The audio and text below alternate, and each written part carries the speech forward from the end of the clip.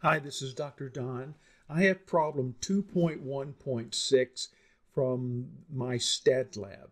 And it's really a pretty simple problem to solve using StatCrunch, although there are a couple of little tricks, and I hate to use the term tricks, just little things you need to know about using StatCrunch. I'm going to click on the data table here, and then I'm going to click on Open in StatCrunch.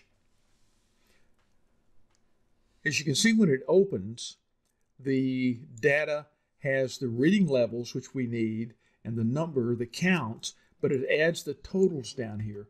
And we don't need those, so just delete those before you try to use the graphing function. Click on Graph. We want a bar plot, and this is summary because they've already added up the counts in each of these areas. It's not raw data. So click on Summary. Our categories are in reading level. Our counts are in number. And we want the relative frequency in this particular problem. Default is the order by ascending, and that has to do with the value, which is the categories. And that's what we want for the first chart. But we want to get the value of the relative frequencies displayed above each bar. And then we can click compute, and we get this first chart there. I'm going to expand it, and hopefully you can see a little more clearly We've got our values there, level 1, 0.152, 0.264 for level 2, etc. Let me pause this for a second. There, I brought up the MyStatLab problem. And you can see those are the frequencies we need, the relative frequencies we need from 0.152 to 0.029.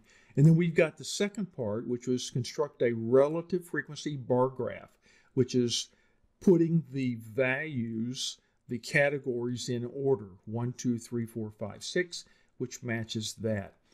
The next part of the problem, though, says convert it to a Pareto diagram in which we go from the category with the highest count, the most number of counts, to the lowest number of counts. And we can go back into our, our uh, StatCrunch chart here, click on Options, Edit, and then down here where it says order by, we want to go by count descending, going from the largest count to the smallest count, because that's what a Pareto diagram is. I'm going to click on that to select it, click compute, and it changes our chart. We move it again, expand it so you can see it. And we've got the level four would be the first going down to level six.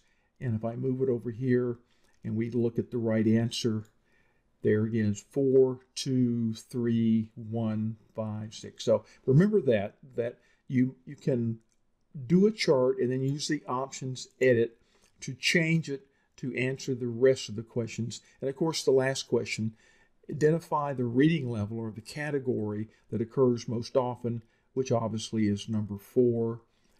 And I'm just going to click there again. There's our level four from the Pareto diagram jumps at it as being the one that has the highest count. So hope this helps.